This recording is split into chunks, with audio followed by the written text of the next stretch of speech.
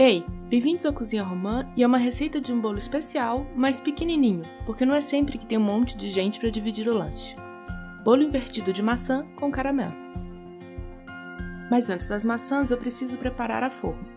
O ideal para esse tipo de bolo é uma forma de fundo removível e um pedaço de papel manteiga, tudo untado com manteiga. Se você tiver daquelas formas que a lateral se abre e solta do fundo, também funciona. E se você não tiver nenhuma das duas, no post dessa receita no cozinharomã.com eu explico um truque que pode te ajudar. Essa receita é suficiente para uma forma de 15 centímetros. É um bolo bem pequenininho mesmo. E para garantir que o caramelo não vai vazar, eu ainda vou forrar ela com papel alumínio por fora e deixar uma outra assadeira por baixo, que vai que rola um acidente, né?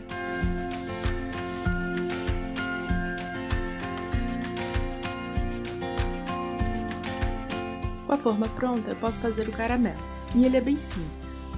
Primeiro eu derreto um quarto de xícara de açúcar refinado, mas pode ser outro tipo de açúcar que você preferir, e pode mexer o açúcar, não tem problema. Quando ele estiver dourado, eu acrescento 25 gramas de manteiga. E eu não estou colocando uma pitada de sal porque a minha manteiga já tem sal, mas você pode colocar no seu se quiser.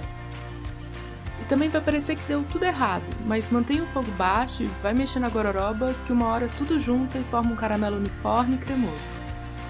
Aí é só espalhar ele sobre o fundo da forma e agora sim é a hora das maçãs.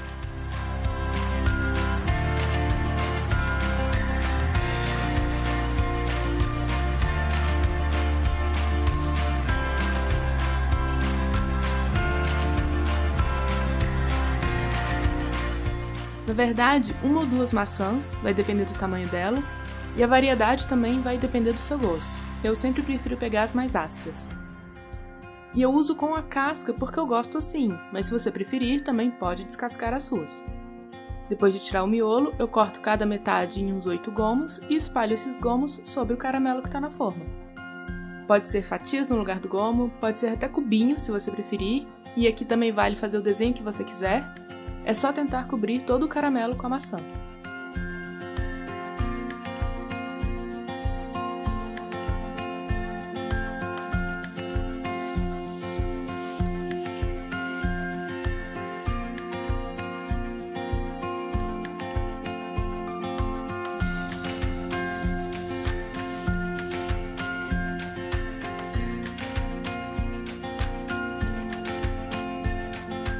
E finalmente, com caramelo e maçãs na forma, é só fazer o bolo em si.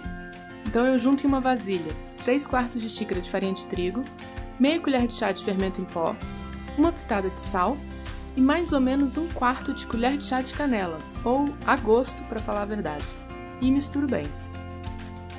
Em outra vasilha, eu junto 50 gramas de manteiga com um terço de xícara de açúcar refinado e amasso até formar um creme. E sim, pode ser outro tipo de açúcar também, não tem problema. Como é pouca quantidade aqui, eu prefiro usar um garfo no lugar do fouet. E assim que o creme estiver formado, eu junto um ovo e bato até ele ser incorporado.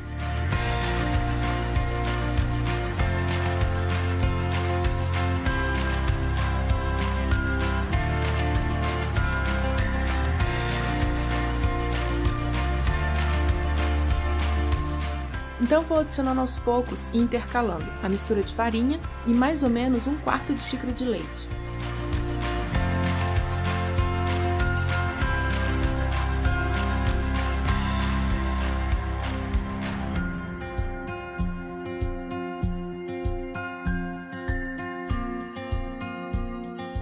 Se o ovo for muito pequeno, pode ser que precise de mais uma colher ou duas de leite para formar uma massa bem cremosa. Essa massa eu uso para cobrir as maçãs, aliso bem, então levo para o forno a 180 graus até o bolo assar completamente e começar a dourar.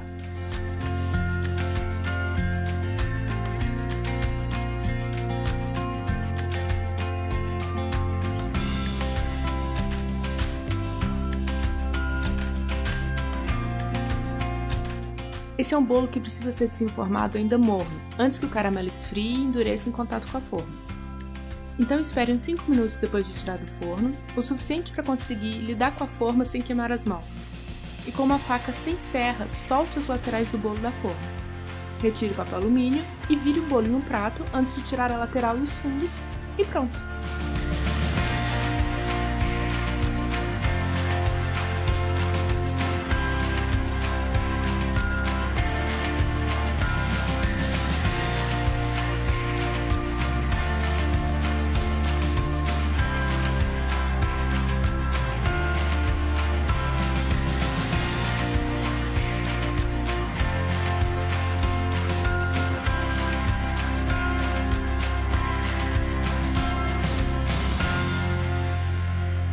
Para quem quiser ler a receita com calma, o post no site vai estar linkado na descrição desse vídeo.